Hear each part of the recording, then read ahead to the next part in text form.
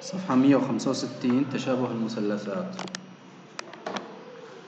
حكينا في المرة الماضية عن نسبة التشابه إن المثلثين لما بتشابهوا بيطلع معنا نسبة اسمها نسبة التشابه نحصل عليها بنسبة ضلعين متقابلين. نسبة التشابه بتكون آه رمزنا لها K هي بنفس الوقت نسبة الارتفاعات المتقابلة نسبة نسبة المتوسطات المتقابلة نسبة المنصفات المتقابلة ونسبة المحيطات أيضا كلها بتساوي نسبة التشابه. طالما نحن عم نشتغل بأطوال يعني هذا طول ضلع هذا طول ضلع طول ضلع أو طول قطعة مستقيمة آه، فمجموعهم هو عم يكون كمان طول. بيضل بيساوي كي أما لما بننتقل للمساحة المساحة تقاس بالمتر المربع فأيضا تتحول النسبة لمربع نسبة التشابه. طبعا بدك تحافظ على الترتيب يعني إذا نحن طالعنا نسبة التشابه بأنه حطينا ضلع من المثلث ABC على ضلع من المثلث DEF فمنقول مساحة ABC بنحطه في البسط ومساحة DEF بالمقام. انتبه ما تعكسهم يعني ما في شيء بيجبرك إنك تحط هاد فوق أو هاد فوق بس في شيء بيجبرك إنك بنفس المسألة تمشي كله بنفس الترتيب. السؤال الأول. المطلوب X. على أول شيء لازم هو قلنا نحن ما إنه مطلوب منك أنت تكتب برهان بس لازم تعرف تبرهن عشان تعرف تحل شو سبعة ثلاثة؟ ليش هن متشابهين أول شيء؟ الخمسة بثلاث صارت 15 والأربعة بثلاث صارت 12 السبعة بثلاث تمام صح. انتبه الزاوية هاي بتساوي الزاوية هاي فإذا أضلاعهم هدول بدهم يتناسبوا مع هدول.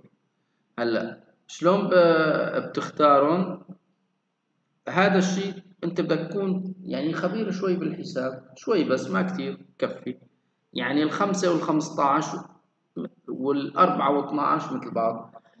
ممكن تجاوزا تجاوزا ها؟ تجاوزا بين قوسين.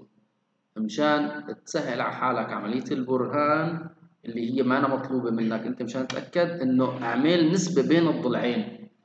يعني قول 12 على 15 وأربعة على خمسة. هل هدول بيساووا بعض؟ تمام.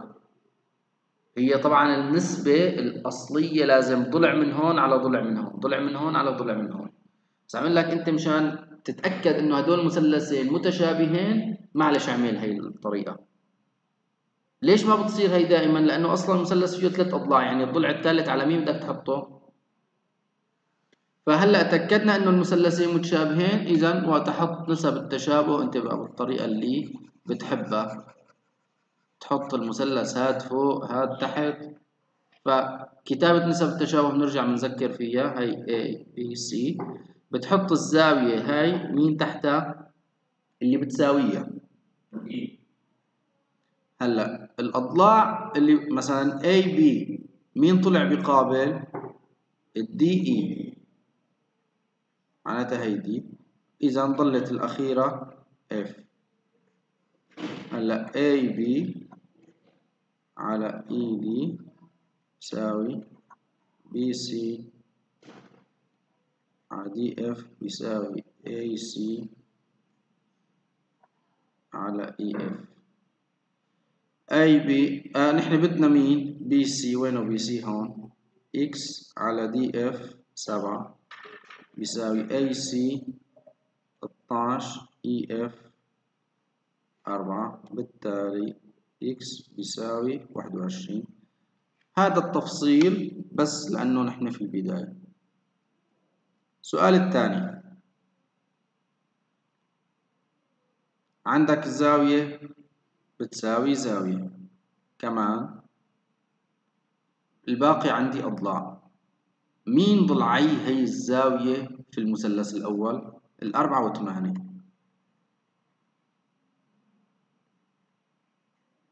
وبالمثلث الثاني مين الضلعين؟ ثمانية وستة عشر.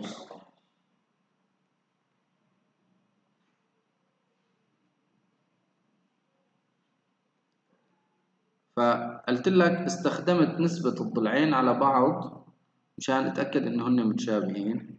فطلعت النسبة مثل بعض.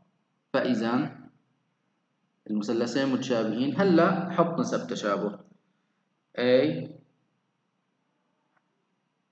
B D ما بالضرورة تحطها. ما بالضرورة تكتب نسب التشابه هلأ شوي بس مشان نتعلم.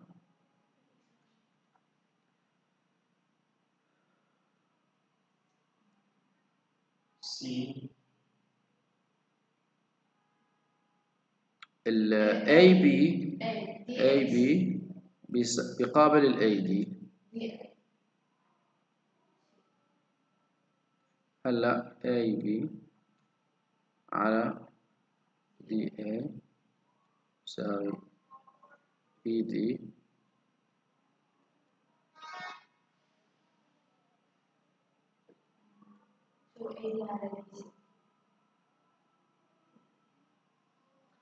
نحن بدنا AC وينه AC آه. فBD BD خمسة. AD ثمانية. DC ستاش. بالتالي X بيساوي عشرة. السؤال الثالث.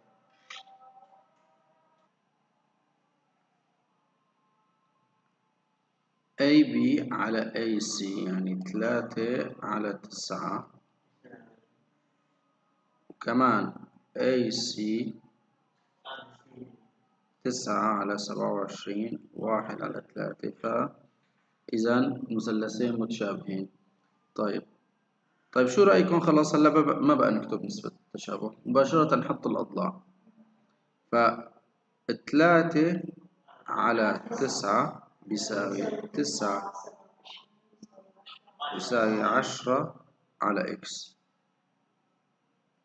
فإذا x بيساوي ثلاثين.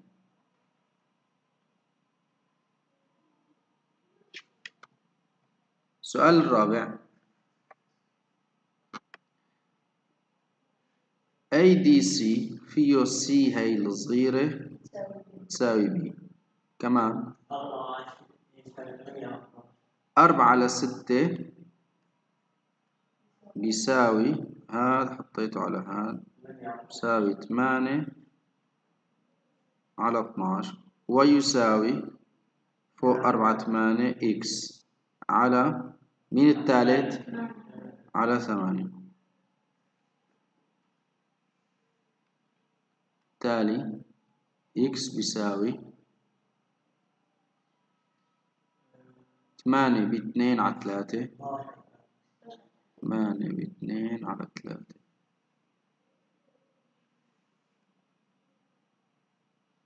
سؤال خمسة. في عندي الزاوية A مشتركة بين مثلثين ADE و ABC كمان ضلعي الزاوية A اثنين بالمثلث الصغير. المثلث الكبير هذا ستة فاثنين على ستة بيساوي. الضلع الكبير بالزاوية A بالمثلث الأول أربعة. الضلع الكبير يتساووا اثنين على ستة بيساوي تمام صح. فبيساوي الضلع الثالث أربعة على x معناتها x بيساوي واحد ثلاثة في أربعة.